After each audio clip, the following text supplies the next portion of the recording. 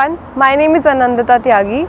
And I'm Sehaj, and we are the students of Belarusian State Medical University. Uh, So this is the main entrance of our university, and we have a lot of other entrances around as well.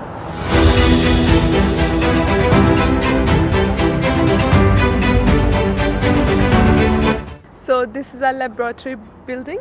So this is where we have practical classes mostly.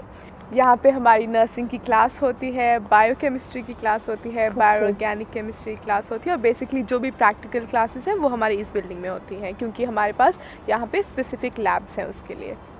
और इन्हीं सारी practical class के हम lectures भी laboratory building में ही होते हैं। जैसे for example first aid nursing organic chemistry biochemistry etcetera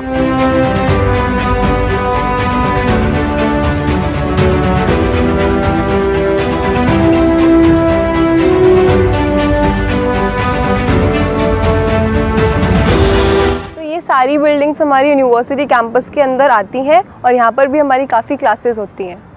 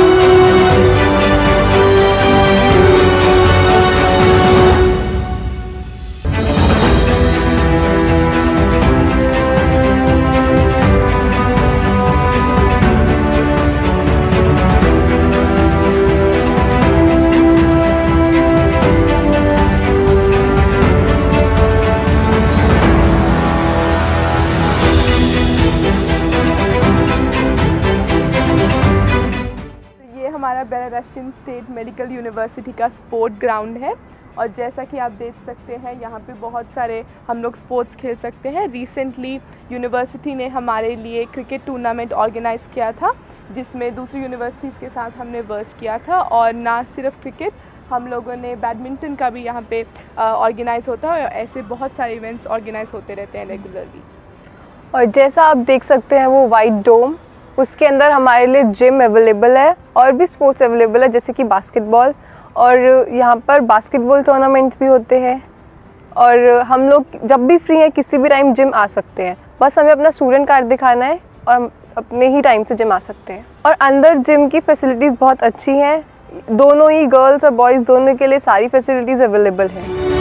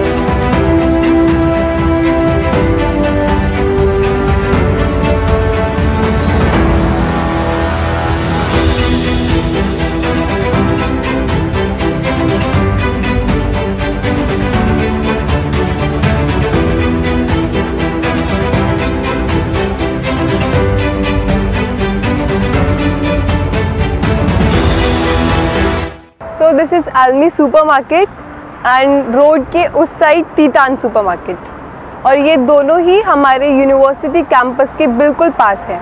तो हमें किसी भी काम के लिए ज़्यादा दूर नहीं जाना पड़ता। यहाँ पर बैंक पोस्ट ऑफ़िस स्टेशनरी सब कुछ है। और यहाँ पे हमारी हर ज़रूरत की सारी चीज़ें अवेलेबल भी हैं।